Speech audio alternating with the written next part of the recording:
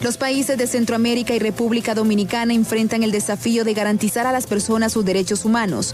En Honduras, las mujeres se ven afectadas por un espiral de delitos que atentan contra su integridad y sus vidas. Esto se puede ver agravado por contextos de crisis como la derivada por la pandemia del COVID-19. La violencia afecta de manera diferenciada a mujeres y hombres según la edad. A medida la edad incrementa, la violencia doméstica e intrafamiliar acumula la mayor cantidad de denuncias. 88 de cada 100 víctimas de delitos sexuales son mujeres. En el 2020, el sistema de llamadas de emergencia 911 superó las 100.000 llamadas por violencia doméstica, que representa el 57%, e intrafamiliar un 43%. Para hablar de este tema se encuentra con nosotros el abogado Juan Carlos Lagos. En efecto, tocar esta temática de violencia en intrafamiliar, pues obviamente es un tema muy complejo. Hablarlo, obviamente, es importante también tomar en consideración toda la normativa jurídica y legal que acompaña este mismo tipo de hechos. Y bueno, ya como lo mencioné en la nota introductoria, hoy nos acompaña nuestro querido abogado de eh, este espacio, que ya es su casa también, ya él se sienta aquí, se tiene su cafecito y siempre viene contento y animado a guiarnos y a orientarnos, abogado, en este tipo de temas que obviamente llaman mucho la atención. Y quizás la gente puede decir, bueno, vuelven a hablar de lo mismo, vuelven a hablar de lo mismo, pero hay hoy queremos enfocar específicamente esta temática con el tema del nuevo Código Penal. ¿Cómo sanciona y penaliza el tipo de, este tipo de acciones eh, de violencia? Abogado, buenos días y junto a Ethel, pues vamos a estar con usted este rato. Bienvenido. Bueno, muchas gracias. Gracias por la invitación, por la introducción también, ¿verdad? Eh, como usted lo decía, son temas que son del diario vivir de la población de las féminas, ¿verdad?, que se ven afectadas en ese sentido. La mayoría. La mayoría lo hemos visto, no solo a través de los noticieros de BTV, a través de diferentes noticieros de los canales, el incremento de los delitos contra las mujeres, los femicidios, que se han incrementado de una manera eh, alarmante en el país. Es eso también que hemos platicado en diferentes segmentos acerca de lo que es violencia doméstica, de la parte que yo lo llamo la primera ventana para cesar ese tipo de, de conductas, ¿verdad? Pero tenemos también una norma que, viene a, contrarrestar este tipo de delitos y a penar y a sancionar los delitos contra las mujeres. En el artículo 208 del nuevo Código Penal, del 208 al 210, se establecen dos figuras muy importantes en el título 5 con el delito contra las mujeres, violencia contra la mujer. Llámese femicidio, y violencia, propiamente violencia contra la mujer. El femicidio, pues, como lo hemos visto y muchos grupos, ¿verdad?, de, protección de los derechos de la mujer, asociaciones civiles sin fines de lucro que se dedican a proteger, pues, los derechos de la mujer, en este caso la integridad. Tenemos lo que es el femicidio. El femicidio propiamente, pues, como aquel delito cometido por un hombre que le da muerte a una mujer.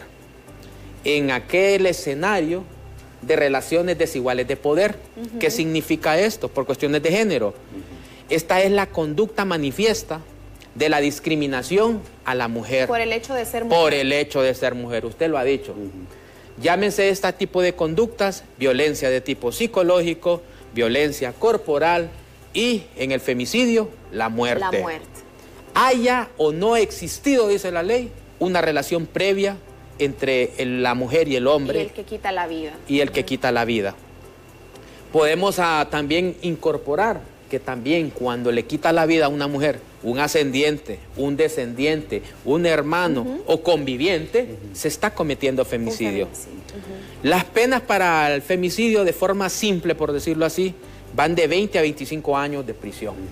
Pero no se queda ahí, no se queda ahí. Esa es la gran confusión que han tenido muchos estudiosos Que, el código es benévolo. No es benévolo. ¿Por qué? Porque el código recoge ese espíritu de proporcionalidad de la pena.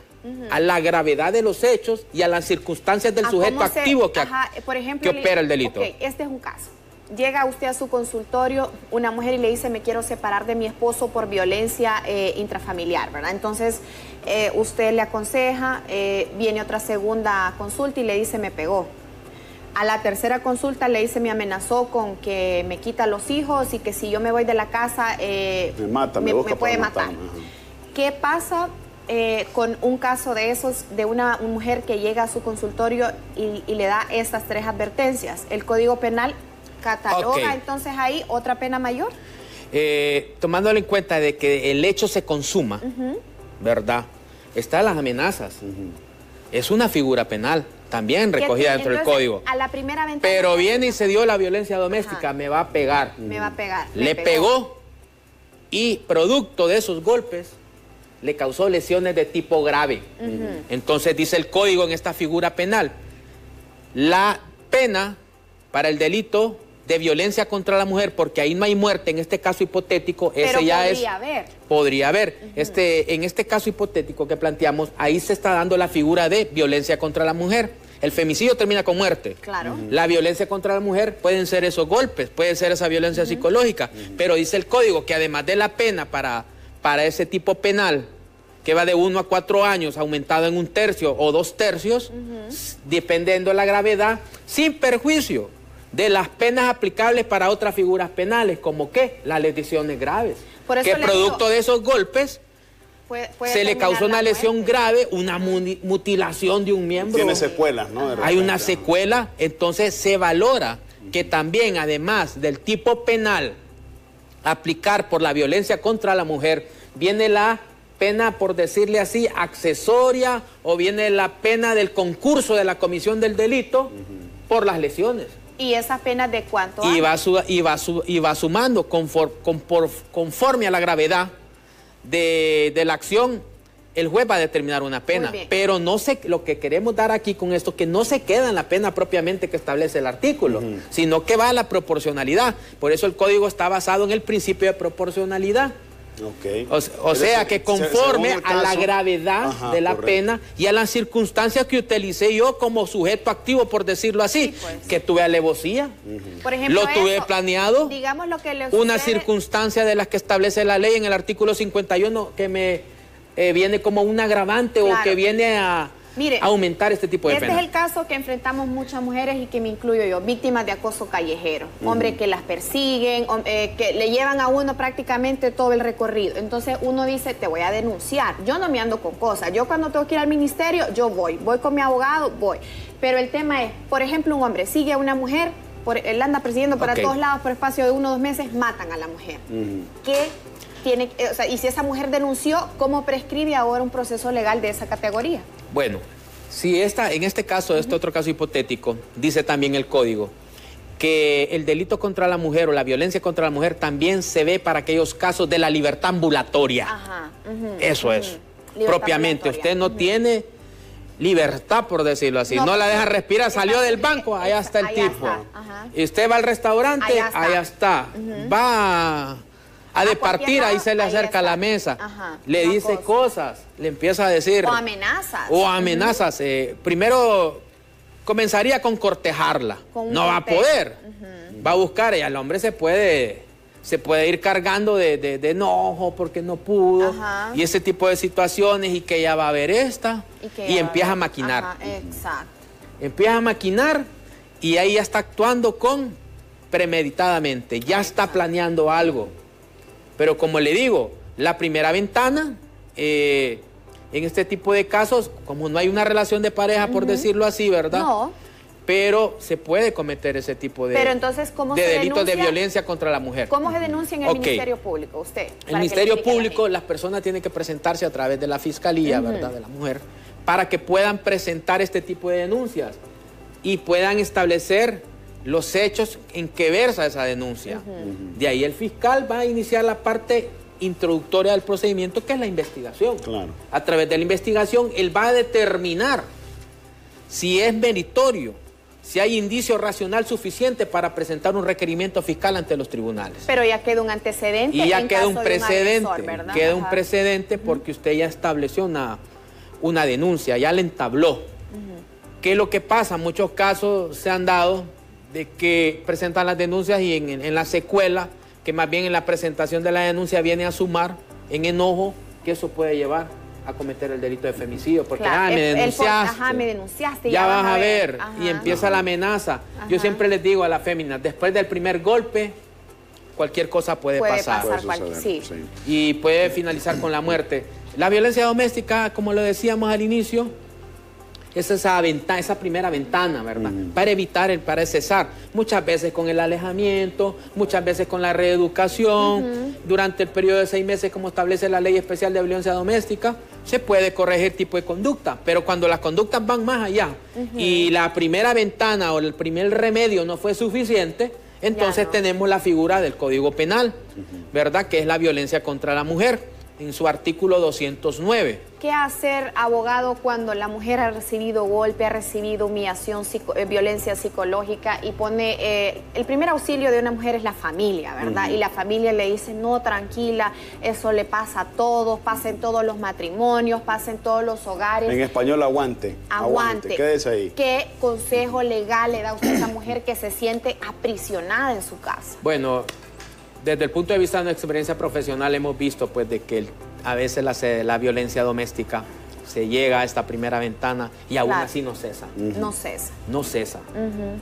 Después de la, de la primera macaneada, por decirlo así, viene la segunda puede venir la tercera. Y, puede venir más fuerte. Como decía un rector de, uno de los institutos donde yo estuve, puede pasar una vez, dos veces, tres veces, cuatro veces, cinco veces, pero no siempre. No siempre. ¿Qué tal que en ese hecho pues, le puede llevar a la muerte? No solo a la persona, le pueden dañar a su familia, le pueden dañar a sus hijos. Imagínese qué feo esos Está casos de gente que la han eh, menoscabando la integridad moral de estas personas, de la familia, de los hijos, el crecimiento emocional. ¿Cómo van a crecer estos hijos ver que, se estén que viven en guerra? La ley da este tipo de herramientas jurídicas para corregir ese tipo de conductas y que no son benévolas. Porque como les digo, es la proporcionalidad, va sumando, o sea, como cuando va a comprar un, sándwich, póngamele jamón de pavo, póngamele queso tal, va sumando, va sumando. Al final, pues, este tipo de situaciones se, tienen que corregir porque terminan los femicidios. ¿Qué es la proporcionalidad? Dice, del, del código y hay que ver también lo que es el ejercicio desigual de poder. Cuando por el hecho, decíamos, de razón de serlo, pues de ser mujer, ¿verdad? Hostiga. O que no trabaja y está en su Hostiga su integridad moral, su integridad psicológica, su integridad física y le ejercen todo este tipo de golpes, maltratos de los que pueden y están las herramientas, están los juzgados especiales de violencia doméstica como primera ventana, están las postas policiales, juzgados de paz porque no en todos los municipios, no todos los departamentos hay juzgados especiales de violencia doméstica, pero hay un ente encargado de llevar este tipo de casos. Y las fiscalías pues que están para poder denunciar por el tipo de violencia contra la mujer en torno, ¿verdad? o amparado en lo que es el nuevo Código Penal en su artículo 209. ¿verdad? Tiene una consulta, abogado. nos ha mandado un texto, abogado, para que le demos lectura y podamos despejar la incertidumbre que tiene nuestro televidente. Buenos días, hola Honduras. Los veo desde la ceiba. Mi cuñada sufre de violencia y ella no quiere denunciar porque él la amenaza con quitarle los niños. Esto es típico, ¿verdad, abogado? Típico y es falso. y falso. No puede. No ¿Por puede. Qué no puede? Ahora, hay vida, decimos, desde la concepción de, la, del, del, de la, del óvulo, ¿verdad? Con enferma y todo. todo eso. Se forma una vida dependiente. ¿Quién es la persona que le da los mejores cuidados a, los menores? Al trabajo que le decimos trabajo mudo. ¿Quién lo viste? ¿Quién lo cuida? ¿Quién lo... lo es que el trabajo decía, que hay padres, padres que son proveedores nada más. Exactamente. Proveer no significa que le va a brindar los cuidados necesarios. Salud. La guarda y cuidado de ese menor siempre hasta cierta edad siempre le va a corresponder a la madre. A la madre, imagínese desde algo tan trascendental como la lactancia, solo una mujer puede Exacto, pero también no podemos dejar a un lado el derecho del régimen de comunicación que tienen los menores con sus padres. entonces, ¿qué Eso es lo que, se tiene que normar. Si en esta situación, pues, primeramente no se los puede llevar. Segundo, si están separados, que presente una demanda de régimen de comunicación, porque para que tengan las normas claras de cómo él va a visitar, cómo va a, tener contacto con sus hijos. Abogado, en el caso, a mí me suena que la amiga que nos escribe, su cuñada vive con el agresor en la casa, no hay un divorcio, no hay una separación, es lo que ella, me, creo yo, nos está dando a entender. Y que ella ya ha intentado decirle, dejemos esto aquí, y que le dijo, te vas vos y te quito a los hijos. Violencia psicológica de este tipo viviendo en el mismo hogar. Esa es violencia psicológica. ¿Y cómo puede ella librarse? Ella puede presentar una denuncia ante el juzgado especial de violencia doméstica, si lo hay ahí en Ceiba, ¿verdad? Para que puedan llamarlos a audiencia. ¿Qué van a hacer con esto? Las medidas de seguridad. Lo pueden alejar. Lo pueden alejar de la... Lo pueden alejar por seis meses, ¿verdad? Dice la ley. Se puede... Orden de restricción. Eh, esto, alejamiento, le conocemos ah, orden en el lenguaje común. Ajá pero generalmente también los mandan a reeducar. Los mandan a las famosas charlas, realizan estudios psicológicos, realizan estudios socioeconómicos para ver la realidad de estas personas. Lo que se busca, como decíamos, con esta primera ventana de la ley de violencia doméstica o los juzgados, es parar ese tipo de conducta, frenar. Y es lo que puede hacer ella, presentar su denuncia. Ahora, abogado, legalmente entonces el padre no le puede quitar los niños a, su esposa, a su mujer. Eh, pero siento que los hombres abusamos de nuestro poder y de nuestro machismo porque quizás en su mayoría somos ignorantes de la ley y sabemos que la ley no nos va a amparar a nosotros. Ese, es el famoso contexto de las relaciones de desigualdad. Correcto. si él y yo somos esposos, mi, o sea, mi trabajo es intimidarla a ella no abocarme a la instancia correcta y legal, que es lo que hace la mayoría. o sea, si yo quiero pelear a mis hijos por la buena, pues yo me voy también como padre, tengo el derecho, ¿no? Vaya, que ella no está siendo una buena madre, que ella pasa de fiesta, que los niños están botados, que, no, comen y se logra determinar que estarían en mejor guarda y cuidado. No hay necesidad de que me venga a amenazar, él perfectamente puede iniciar su proceso legal. Exactamente. Están los caminos, están los regímenes de comunicación, están las suspensiones de maternidad, las suspensiones de paternidad. También cuando un padre o una madre no está cumpliendo con el rol, ¿verdad?, de su patria potestad, no está eh, además de los derechos, no está cumpliendo con las obligaciones como padre o madre, ¿verdad? De, un menor, se pueden establecer este tipo de suspensiones. es más, hasta se puede perder. Cuando hay mucha gravedad en el asunto, se puede es, perder. Es cierto lo que expone Efer, el hombre hondureño siempre acostumbra la amenaza, para su esposa o ya sea, ya sea su expareja o lo que sea, es venga, te intimido, te amenazo y te hago saber que en mi mundo yo soy superior a tu punto Imagínese de vista que a usted le amenacen que la, mira, si no haces esto te voy a mandar a matar. Te voy a mandar a matar. Solo me cuesta tanto. Ajá, es sí. ¿Cómo va a vivir psicológicamente usted? Pensando de que cualquiera por un traguito o por dos mil pesos ya Cuando me vaya a la pulpería a comprar la Entonces, ¿qué tiene que hacer? Presentar la denuncia. Ahí es correcto. y no, como dicen, ahuecar el ala, porque eso es lo que sucede. Es que la mujer Cuando ya llega a la audiencia, escúchame bien, televidentes, féminas, si usted presenta una denuncia, cuando llegue la audiencia, entre a la audiencia. No se arregle en el pasillo con él, porque si no la violencia va a continuar. Va a continuar, es cierto, tiene que denunciar. Ahí he visto en los juzgados que en el pasillo se ponen de acuerdo, no, ya no vamos a entrar. No, no hay cosas que no reconciliamos y hasta de eso hay. Pero a la vuelta del juzgado están, los, golpes. No es cierto. Otra cosa, le regalan una flor el lunes y le están dando golpes el sábado. No, ¿Qué es eso? No, hombre, las conductas de este tipo tienen que corregirse. Que, que el agresor, y eso eh, pues que es algo bien común que uno lo ve aquí en el gremio periodístico, en las historias que cuenta. Llegó, la, la, golpeó tipo, como dice usted, el lunes y el martes aparece todo cariñoso, como que no pasó nada, no pide disculpas, no pide nada, solo intenta traer una falsa luna de miel. Después de una paliza. y ¿Por qué? Porque se busca la comodidad, porque dice, eh, no reflexiona porque le ama, no reflexiona porque quiere reconocer las cosas, este te está buscando como O hay otros que son hay un interés. y le dicen, es que me provocas, mira, no, ah. no me enojes. Ajá. Otra cuestión también, la mujer tiene que ser sabia en este sentido. Eh, a mí muchos me han dicho, muchas personas, terapeutas me han dicho, eh, los problemas a veces que enfrentarlos hay que esquivarlos. Si usted sabe que no puede contenerse como fémina y es lesiva también con con la boca. Con la boca. Hay que tratar de, porque eso puede detonar. Ahorita en pandemia, como mirábamos la, cápsula de introducción, ¿verdad? Las peleas. Eh, las peleas y todo. La gente ahorita, y lo venía pensando ahorita que venía para el canal, ya organizando mis ideas, decía, damos de mecha corta. Sí, sí nadie le puede decir nada. Todos tensos. No, y responde uno, responde el otro. Es más, está en la calle un par de... El otro día miré la noticia que por discutir por un paso, le, un hombre le disparó a otro. Y otro se salió en plena lluvia hace como un fin de, dos fines de semana a darse a golpes. Exacto. Ese tipo de situaciones hay que tratar de todos poner un grano de arena, hombres y mujeres, ¿verdad? Para no llegar, no llegar a este tipo de situaciones. Pero si hay que corregir ya, cuando ya eh, el raciocinio de la persona no funciona, hay que buscar los métodos legales. Abogado, y que también, ¿verdad? Yo creo que hombres y mujeres entiendan, las relaciones a veces no funcionan. Sí, totalmente. No funcionan. Y es de sabios aparte. A la fuerza ni la comida. Sí, ni el agua. Pues. yo, soy tan, tan pensante cuando vengo al segmento que, que, yo estaba bañando y me decía, lo que no funciona se deja. Se deja. Entonces, este es el tipo de situaciones que hay que ver, pues, de que, pero tomando desde el punto de vista de la ley, ¿verdad? Están los canales, están las herramientas jurídicas.